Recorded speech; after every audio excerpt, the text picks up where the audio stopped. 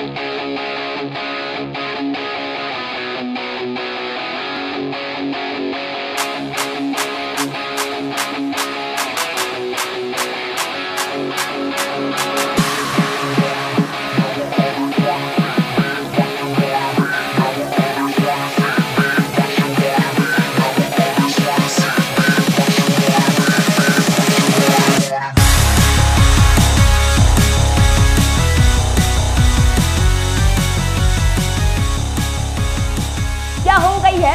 दबंग four में रज्जो की वापसी। और आखिर रज्जो खुद को कैसे कर रही हैं फ़िल्म दबंग फोर के लिए तैयार। तो आइए दोस्तों, जानते हैं। Hello and welcome to Bollygrad studios मैं जैनी शाहनवाज, आप सभी का स्वागत करती हूँ इस वीडियो में, जहाँ आज हम बात करने वाले हैं अपकमिंग फ़िल्म दबंग फोर के बारे में। तो अभी तक जैसा कि हम सभी ने सुना था, खबरें आ रही थी कि फ़िल्म में रज्जो नहीं होगी।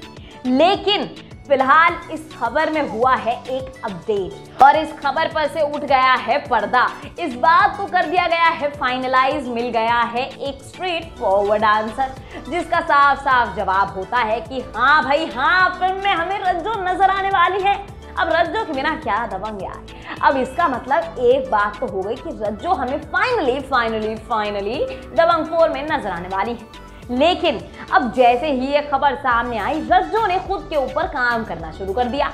अब अगर आप जानना चाहते हैं कि दबंग फोर के लिए रज्जो आखिर क्या क्या कर रही हैं तो दोस्तों इस वीडियो को अंत तक ज़रूर देखिएगा, क्योंकि मैं आपको बताने वाली हूँ कुछ ऐसी चीज़ें जो ना सिर्फ़ रज्जो की मदद कर रही हैं, बल्कि आपकी भी करेंगी। जी हाँ तो दोस्तों इस वीडियो को अंत तक ज़रूर देखिएगा। अब आप सभी को बता दूँ कि जब से रज्जो को ये खबर मिली है, यानी कि सोनाक्षी को ये खबर मिली है कि वो दबंग फोर का एक परमानेंट हिस्सा होने वाली हैं।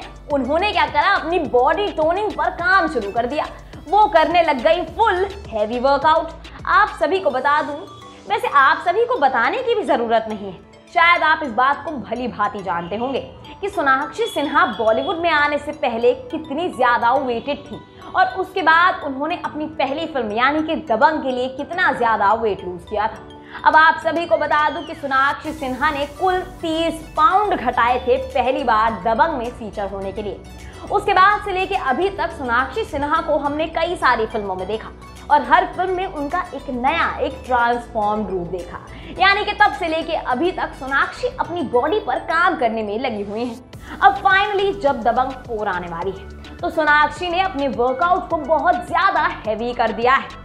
अब वो अपनी टोन फिट और सेक्सी बॉडी को दिखाने के लिए पूरी तरीके से रेडी हो गई हैं। हाँ मुझे पता था कि आप मेरे कहने से बिल्कुल नहीं मानेंगे। तो भैया आपको अगर प्रूफ चाहिए तो आपको कुछ नहीं करना। सोनाक्षी सिन्हा का इंस्टाग्राम देखिए और उस पर उनकी टून्ड और परफेक्ट बॉडी को जाकर खुद देख लीजिए और उससे इंस्पायर हो जाइए। क्योंकि सोनाक्षी सिन्हा ने ट्रेडमिल पर ना भागने जैसी प्रॉब्लम्स भी फेस की हैं। जी हाँ सोनाक्षी सिन्हा ट्रेडमिल पर ढंग से भाग भी नहीं पाती थी और ना ही वो वेट लिफ्ट कर पाती थी। तो दोस्तों, उसके बाद खुद सोचिए कि उन्होंने कितनी मेहनत करी कि उनकी जर्नी यहाँ से सेल्फ लव की जर्नी बन गई। तो दोस्तों, सोनाक्षी सिन्हा जिमिंग की इतनी बड़ी फ़ैन नहीं है। वो घर में ही पिलाटेस और कार्डियोस करती हैं।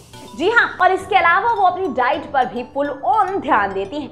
ना तो वो ज़्यादा शुगरी खाना खाती हैं, ना ही ज़्यादा स्पाइसी वो अपनी डाइट को पूरे तरीके से मेंटेन कर कर चलती हैं। और दोस्तों, इतना ही नहीं perfect sleep perfect diet perfect positivity लेकर चलती हैं सोनाक्षी सिन्हा। अब ये तो हमारे लिए एक इंस्पिरेशन का काम करने वाला है। अब दोस्तों, मुझे आप बताइए कि आप लोगों के हिसाब से क्या सोनाक्षी सिन्हा खुद को अच्छे से बदल पाई हैं या नहीं? क्या उनका चेंज आप लोगों को पसंद आया है या नहीं? तो दोस्तों, जाने से पहले कर दीजिएगा हमारे चैनल बॉलीग्राट स्टूडियोज को सब्सक्राइब तब तक के लिए मैं जैनी शाहनवाज, लेती हूँ आप सभी से विदा।